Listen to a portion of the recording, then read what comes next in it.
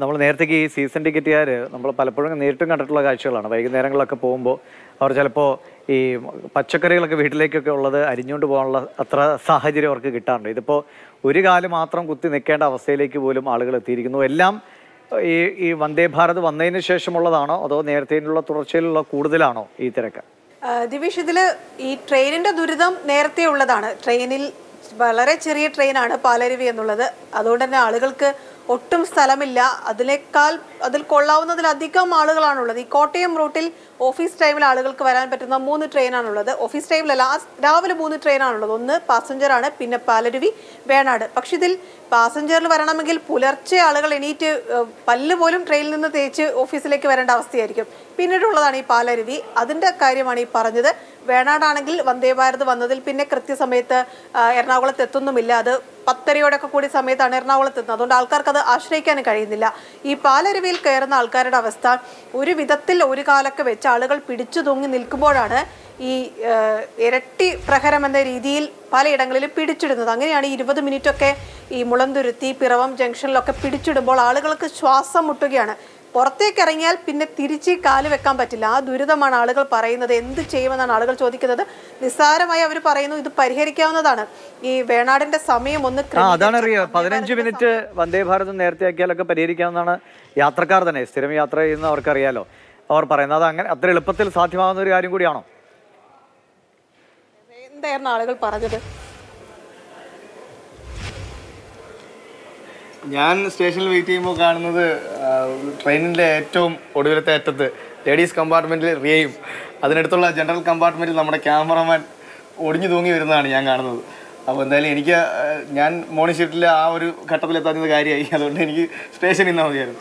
പക്ഷേ ഷിനോജും റിയയും നമ്മുടെ ക്യാമറമാൻ ശരത്തമ്പാട്ടുകാവും ജസ്റ്റിനും ഏറെ ബുദ്ധിമുട്ടിയെന്ന് വേണം പറയാൻ. കാരണം ഇത് ജനങ്ങളിലേക്ക് എത്തിക്കാൻ അവരെടുത്ത എഫേർട്ട് വളരെ വലുതാണ്.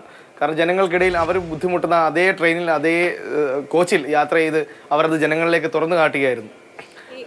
ആദ്യം അവിടെ നിൽക്കുമ്പം സ്ത്രീകളൊക്കെ പറയുന്നുണ്ടായിരുന്നല്ലോ ഒരു ഭയങ്കര ദുരിതമാണിത് അതായത് ഒരു ഓട്ടപ്പാച്ചിലായി മാറി ജീവിതം എന്ന്. പലരും പറയുന്നുണ്ട് ജോലിയൊക്കെ നിർത്തി പോയാലും തോന്നുന്നുണ്ട്. ഇത് ഓടി എത്തുന്നില്ല പിടിച്ചിടലിനെ കുറിച്ചൊക്കെ പറയുന്നുണ്ട്. എന്താ ആളുകൾ യഥാർത്ഥത്തിൽ പറഞ്ഞു? വന്ദേ ഭാരതിന്റെ സമയം ഒന്ന് മാറ്റിയാൽ തീരാവുന്ന പ്രശ്നമാണ് ഇത്? തീർച്ചയായിട്ടും. ഒരു പുതിയ ടൈം ടേബിൾ ക്രമീകരിച്ച് ഈ ട്രെയിനുകളുടെ സമയം ജനങ്ങളെ കൃത്യമായി അറിയിക്കുകയാണെങ്കിൽ ഈ ഒരു പ്രശ്നത്തിൽ നമുക്ക് രക്ഷ നേടാം. ഒരു പ്രതികരണം പോലും എടുക്കാൻ അവർക്ക് സമയമില്ല. കാരണം ഞാൻ കാത്തു നിൽക്കുന്നത് ട്രെയിൻ വന്നിറങ്ങുന്നിടത്താണല്ലോ. അവർ ജോലിക്ക് പോകണം കൃത്യസമയത്ത് കോളേജിൽ പോകണം കുട്ടികളുണ്ടായിരുന്നു എത്രയോ പേരുണ്ടായിരുന്നു. അവരൊക്കെ ഓടുകയാണ്. ഒരു ബൈറ്റ് പോലും തരാതെ അവർ ഓടുകയാണ്. അത് കണ്ടതാണ് നമ്മൾ പ്രേക്ഷകരിന്ന് കണ്ടതാണ്. അപ്പോൾ അത്ര അത്തരത്തിൽ തത്സമയം തന്നെ ജനങ്ങളിലേക്ക് അവരുടെ പ്രശ്നം ദുരിതം എത്തിക്കാൻ സാധിച്ചു എന്നാണ് ഞാൻ വിശ്വസിക്കുന്നത്. ഇതാണ് ദിവിഷ് അവിടെ ശരി ശരി. നിങ്ങൾ തുടരുക. ഷിനോജ് കൂടി നമുക്കൊപ്പം ചേരുന്നുണ്ട്. ഷിനോജ് ഷിനോജിനോട് ഒരാൾ ഒരു യാത്രക്കാരൻ ചിരിച്ചുകൊണ്ട് പറയുന്നുണ്ട് വന്ദേ ഭാരത് ടിക്കറ്റ് ചാർജ് കുറച്ച് സീസൺ ടിക്കറ്റ് അനുവദിക്കുകയാണെങ്കിൽ അതിൽ യാത്ര ചെയ്യാൻ ഞങ്ങൾ തയ്യാറാണ്. അതിൽ സാധ്യമല്ലാത്തൊരു കാര്യമാണ്. പക്ഷേ എന്ത് പരിഹാരമാണ് ഇപ്പോൾ ഷിനോജും അവരൊക്കെ സംസാരിച്ചപ്പോൾ യാത്രക്കാരുടെ ഭാഗത്തു നിന്നുള്ളത്? ഇത് ഇങ്ങനെ പോകാൻ പറ്റില്ല ഏറെക്കാലം.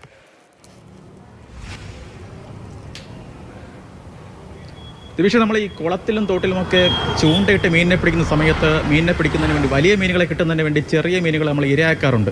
ഇവിടെയും ഏകദേശം അതിന് സമാനമായ കാര്യമാണ് നടക്കുന്നത്. കാരണം വന്ദേ ഭാരത് കൃത്യസമയത്ത് അവിടെ യാത്ര തുടങ്ങുന്നുണ്ട്. കൃത്യസമയത്ത് തന്നെ എല്ലാ സ്റ്റേഷനുകളിലൊക്കെ എത്തുന്നതുമുണ്ട്. എന്നാൽ അതിനിടയിൽ പെട്ടുപോകുന്നത് ഇത്തരത്തിൽ സാധാരണക്കാരായ പാസഞ്ചർ ട്രെയിനുകളെ ആശ്രയിക്കുന്ന കുറച്ച് പേരാണ്. ഇപ്പോൾ ഇന്ന് നമ്മൾ രാവിലെ പാലരുവിലേക്ക് എത്തുന്ന സമയത്ത് എല്ലാ ബോഗികളിലും നമ്മൾ കയറി നോക്കി. ഞാനും ക്യാമറാമാനും കൂടെ നോക്കുന്ന സമയത്ത് ഞങ്ങൾക്ക് കയറാൻ കഴിയുന്നില്ല. കാരണം ഈ ക്യാമറ ഓപ്പറേറ്റ് ചെയ്യണം. അതിനിടയിൽ നമുക്ക് ഈ ലൈവ് കൊടുക്കണം. അപ്പോൾ ഈ അത്യാവശ്യം നിൽക്കാൻ പോലും കാലെടുത്ത് പൊക്കാൻ പോലും അവസ്ഥയിലാണ് ബാക്കിയുള്ള ബോഗികളുടെ അവസ്ഥ. അതിൽ ഇത്തിരി ആശ്വാസം കണ്ട ഒരു ബോഗിയിലാണ് നമ്മൾ കയറിയത്. എന്നാണ് ഏറ്റവും പ്രധാനപ്പെട്ട കാര്യം. നമുക്കെന്ന് പറയുന്നത് ഇത് ഒരു ദിവസത്തെ മാത്രം അനുഭവമാണ്. നമ്മളിന്ന് പോകുന്നു. ഈ വീഡിയോ എടുക്കുന്നു. നാട്ടുകാരെ കാണിക്കുന്നു. പക്ഷേ ഇത് സ്ഥിരമായി അനുഭവിക്കേണ്ടി വരുന്ന കുറച്ച് ആൾക്കാരുണ്ട്. പ്രത്യേകിച്ച് കോട്ടയത്ത് നിന്ന് എറണാകുളത്തേക്ക് ജോലിക്ക് വേണ്ടി പഠനാവശ്യത്തിനുമൊക്കെയായി പോകേണ്ടി വരുന്ന ആൾക്കാർ.